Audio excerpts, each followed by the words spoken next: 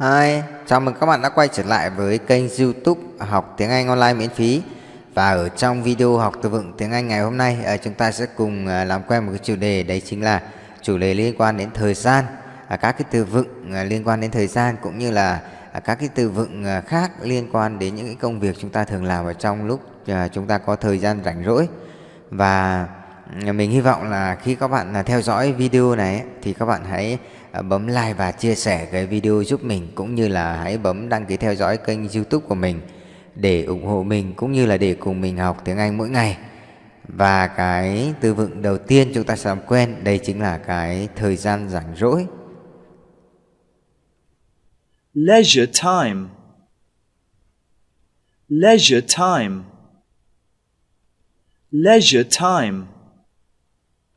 Leisure time leisure time. À, chúng ta sẽ lấy uh, một ví dụ uh, liên quan đến uh, thời gian rảnh rỗi. I enjoy going to the cinema at my leisure. À, cái ví dụ trên có nghĩa là à, tớ thì thích đến đạp chiếu phim vào thời gian rảnh rỗi. À, mình cũng có thể lấy một cái ví dụ khác này.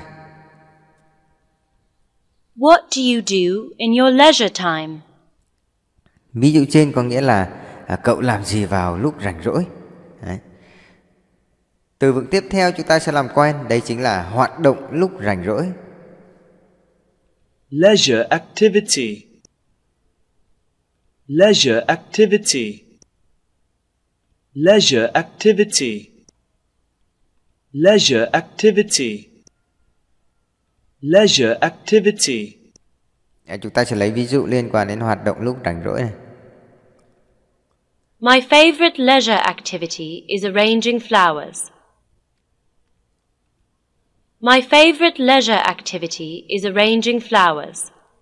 Ở cái ví dụ trên có nghĩa là hoạt động lúc rảnh rỗi à, ưa thích của mình đấy chính là cắm hoa.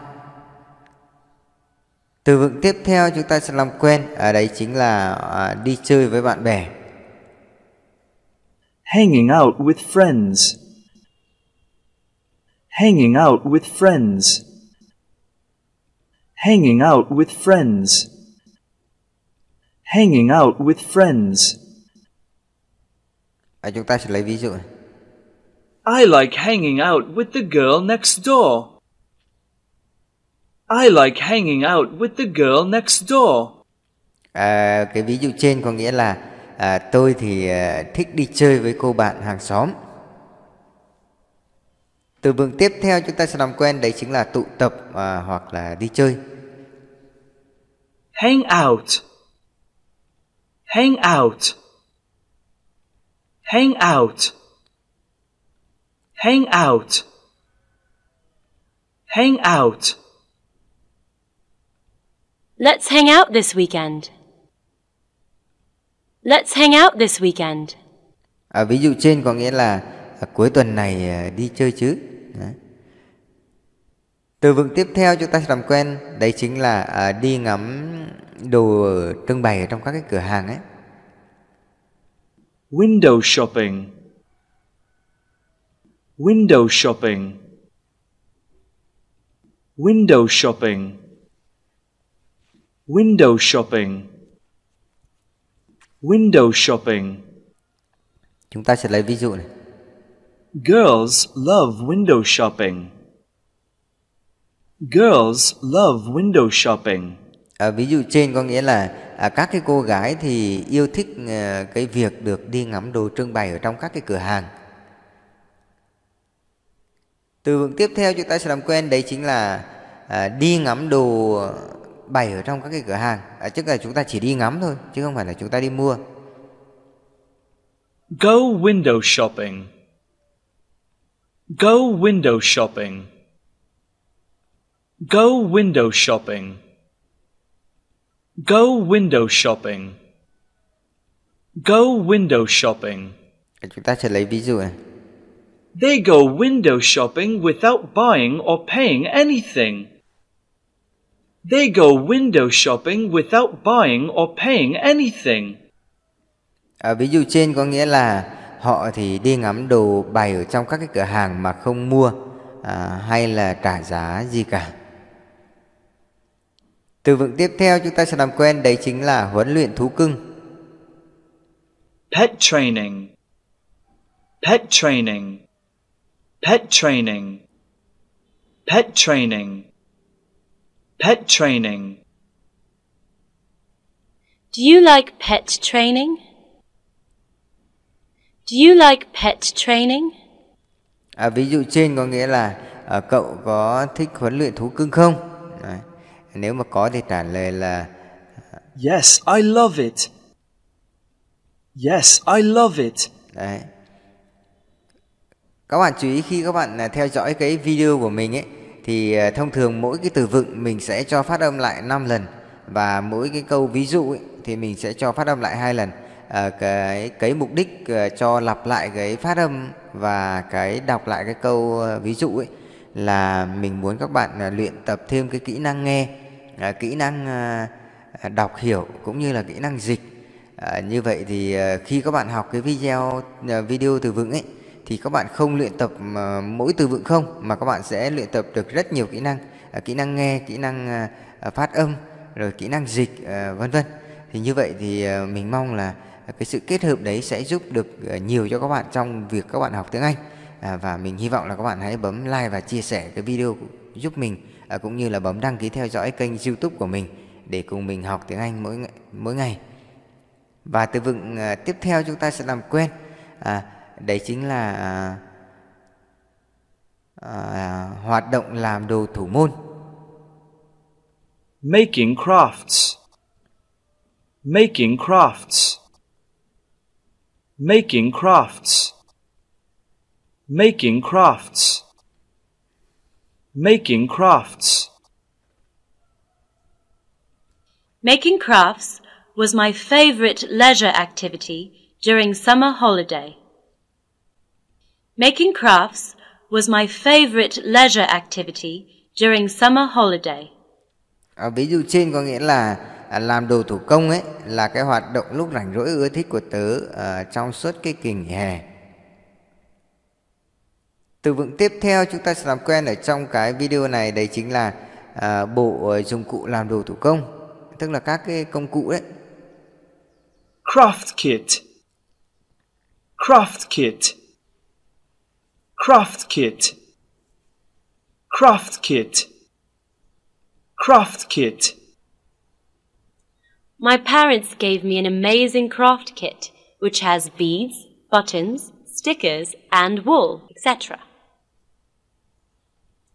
My parents gave me an amazing craft kit which has beads, buttons, stickers, and wool, etc. À, ví dụ trên có nghĩa là à, bố mẹ của mình ấy thì đã tặng cho mình một bộ đồ ờ, làm thủ công tuyệt vời với các cái hạt trang trí, à, cúc, rồi à, nhãn dán, len, vân vân. Từ vựng tiếp theo chúng ta sẽ làm quen đấy chính là vòng đeo tay.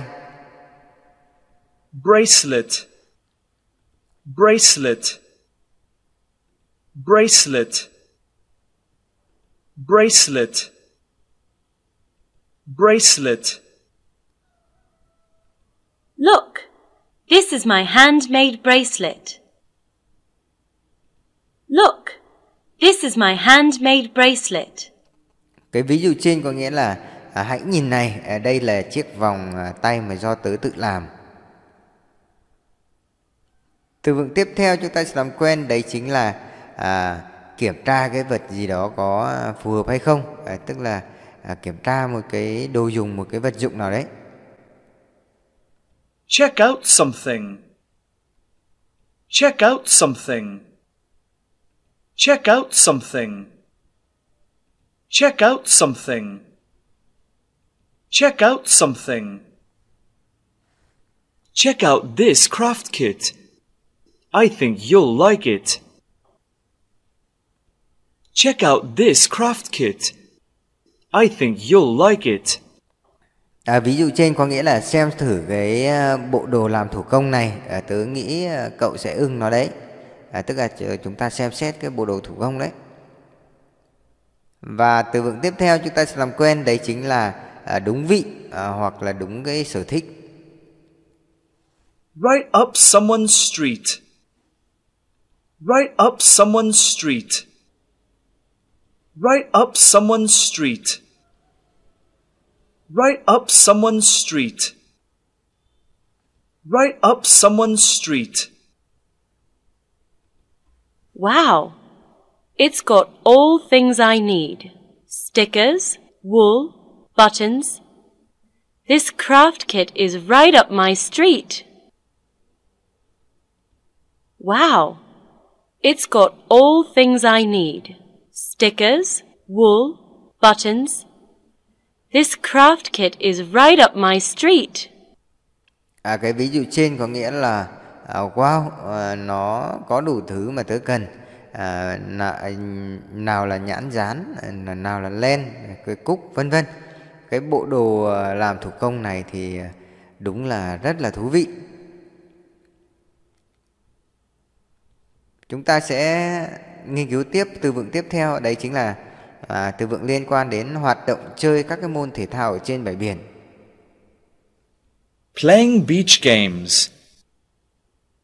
Playing beach games. Playing beach games. Playing beach games. Playing beach games. Playing beach games is fun. Playing beach games is fun. À, cái ví dụ trên có nghĩa là à, chơi các cái môn thể thao ở trên bãi biển thì rất là vui. À, các bạn chú ý khi các bạn theo dõi cái video của mình ấy, thì các bạn hãy bấm like và chia sẻ video giúp mình các bạn nhé. À, cũng như là bấm đăng ký theo dõi kênh YouTube của mình để cùng mình học tiếng Anh mỗi ngày. À, cũng như là à, động viên mình ở một cái hành động rất nhỏ của các bạn nhưng mà tạo ra cái động lực rất lớn à, giúp mình làm thêm nhiều cái video hơn nữa từ vựng tiếp theo chúng ta sẽ làm quen ở trong cái ờ, video này ờ, đấy chính là ờ, hoạt động tự làm hoặc là tự sửa một cái đồ dùng, một cái vật dụng gì đấy DIY Do it yourself DIY Do it yourself. DIY. Do it yourself. DIY. Do it yourself. DIY. Do it yourself. Doing DIY is the most creative leisure activity. Doing DIY is the most creative leisure activity. Ví dụ trên có nghĩa là à, tự làm một cái đồ gì đó là hoạt động giải trí à, sáng tạo nhất. Từ vựng tiếp theo chúng ta sẽ nghiên cứu, đấy chính là hài lòng. Satisfied. Satisfied. Satisfied. Satisfied. Satisfied. I feel satisfied with these DIY flower vases. I feel satisfied with these DIY flower vases. Ở ví dụ trên có nghĩa là tớ cảm thấy hài lòng với những cái chiếc à, lọ hoa tự chế này. Từ vựng tiếp theo chúng ta sẽ làm quen đấy chính là dự án hoặc là kế hoạch làm một cái việc gì đó. DIY project DIY project DIY project DIY project DIY project My DIY project is to make some new bookshelves this summer. My DIY project is to make some new bookshelves this summer. Ví dụ trên có nghĩa là à, kế hoạch của tôi là tự làm vài cái giá sách mới ở trong cái mùa hè này. Từ vựng tiếp theo chúng ta sẽ làm quen đấy chính là hoạt động à, đạp xe à, leo núi. Mountain biking Mountain biking Mountain biking Mountain biking. Mountain biking. Mountain biking on Sunday is really exciting. Mountain biking on Sunday is really exciting. Cái ví dụ trên có nghĩa là à, đạp xe leo núi vào chủ nhật thì rất là thú vị. Từ vựng tiếp theo chúng ta sẽ làm quen đấy chính là đạp xe leo núi. Go mountain biking. Go mountain biking. Go mountain biking. Go mountain biking. Go mountain biking. You should go mountain biking more often. You should go mountain biking more often. Ví dụ trên có nghĩa là cậu thì nên đạp xe leo núi thường xuyên hơn. Từ vựng tiếp theo chúng ta sẽ làm quen đấy chính là à, hoạt động giao lưu, tức là đi giao lưu giữa người này với người kia đấy. Socializing with someone. Socializing with someone. Socializing with someone. Socializing with someone. Socializing with someone. There isn't much socializing at the party. There isn't much socializing at the party. Ví dụ trên có nghĩa là à, không có nhiều hoạt động giao lưu ở cái bữa tiệc này. Từ vựng tiếp theo chúng ta sẽ làm quen đấy chính là à, giao lưu, kết bạn. Socialize with someone. Socialize with someone. Socialize with someone. Socialize with someone. Socialize with someone. She socialized with many new friends at the summer camp.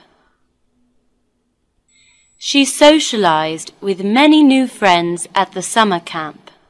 Ví dụ trên có nghĩa là à, cô bé thì giao lưu với rất nhiều là bạn bè mới ở trại hè. À, các bạn chú ý khi các bạn theo dõi cái video của mình ấy thì các bạn hãy bấm like và chia sẻ video giúp mình các bạn nhé. À, cũng như là bấm đăng ký theo dõi kênh YouTube của mình để cùng mình học tiếng Anh mỗi ngày. Từ vựng tiếp theo chúng ta sẽ làm quen đấy chính là nhắn tin, hoạt động nhắn tin. Texting. Texting. Texting. Texting. Texting. Too much texting can be harmful to our health. Too much texting can be harmful to our health. Cái ví dụ trên có nghĩa là à, nhắn tin quá nhiều thì có thể gây hại tới sức khỏe cho chúng ta. Từ vựng tiếp theo ở đây chính là à, nhắn tin mà đây chính là hành động nhắn tin. Text. Text. Text. Text. Text. I'll text you my email address. I'll text you my email address. À, ví dụ trên có nghĩa là à, tôi thì sẽ nhắn cho bạn cái địa chỉ email của tôi à, hoặc là chúng ta có thể lấy một ví dụ khác về nhắn tin. She pulled out the phone and sent him a text. She pulled out the phone and sent him a text. Ví dụ trên có nghĩa là à, cô ấy thì đã lấy cái điện thoại và nhắn tin cho anh ấy. Từ vựng tiếp theo chúng ta sẽ làm quen đấy chính là lướt web à, hoặc là truy cập internet đấy. Surfing the internet, the net, the web. Surfing the internet, the net, the web. Surfing the internet, the net, the web. Surfing the internet, the net, the web. Surfing the internet, the net, the web. Surfing the internet, the net, the web. À, ví dụ trên có nghĩa là à, lướt internet. Surfing the internet has become his daily routine. Surfing the internet has become his daily routine. Ví dụ trên có nghĩa là lướt internet ấy, à, đã trở thành một thói quen hàng ngày của anh ấy. Từ vựng tiếp theo à, ấy chính là lướt web. À, lướt web ở đây là verb tức là cái động từ chỉ hành động chúng ta đang lướt web các bạn nhé. Surf the internet, the net, the web. Surf the internet, the net, the web. Surf the internet, the net, the web. Surf the internet, the net, the web. I often surf the net for learning tips. I often surf the net for learning tips. À, ví dụ trên có nghĩa là à, tôi thì à, thường lướt net để học các cái mẹo học tập và từ vựng về động từ lướt web cũng là từ vựng à, kết thúc cho cái chủ đề liên quan đến chủ đề về thời gian ngày hôm nay. À, mình hy vọng là cái video này sẽ có ích đối với tất cả các bạn.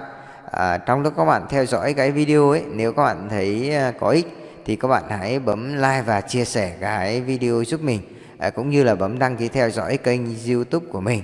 À, một hành động rất nhỏ của các bạn à, nhưng mà mang lại một cái động lực rất lớn đối với mình. À, mình mong là sẽ nhận được nhiều lời động viên động viên góp ý comment của tất cả các bạn để giúp mình hoàn thiện hơn để những cái video sau của mình ngày càng tốt lên. Dạ, mình cảm ơn các bạn đã theo dõi video và hẹn gặp lại các bạn ở các video tiếp theo.